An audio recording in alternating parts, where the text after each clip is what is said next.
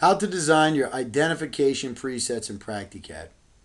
You will notice when you go to the workbox and look at the properties for zone, floor, and system number, we have a little down arrow that if clicked, a drop-down menu will appear.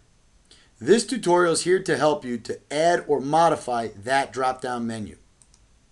You will notice that for zone, floor, and system number, the same drop-down menus that appear here will also appear in your AutoCAD property box when you've got a fitting highlighted.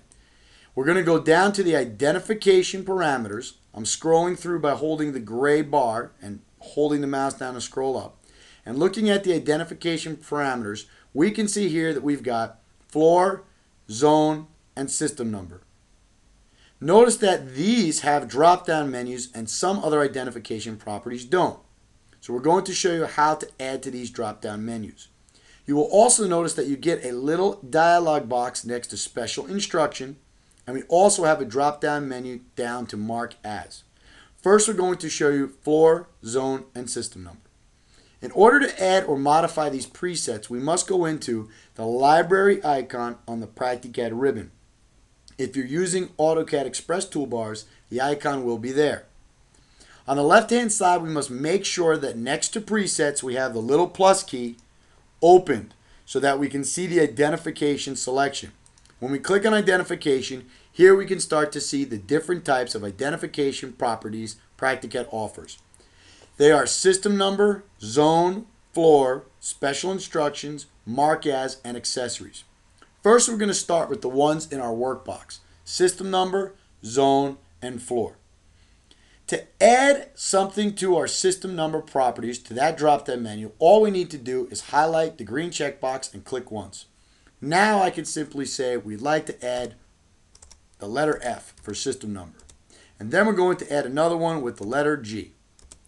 If we decide we do not want to add one or take it away, we can hit the red X or the delete key, and then Practicad will remove it. If we decide we'd like to change the order of the parameters as we see them in the workbox or the drop-down menu in the AutoCAD property box, we can click on the up arrow to move something up and the down arrow to move something down. So in this tutorial, we're now going to come and we're going to go to zone and we're going to add a zone by clicking on the green checkbox and we're going to type in grease duct. And this will be an added zone. And then we're going to switch type and go to floor. And here we're just going to add to the bottom of the list floor 101 and hit enter. Once we've changed the types and added and modified the lists, all we need to do is hit the save key and then close out of my library.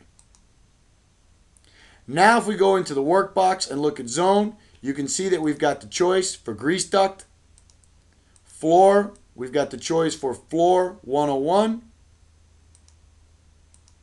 and system number, we've added system number F.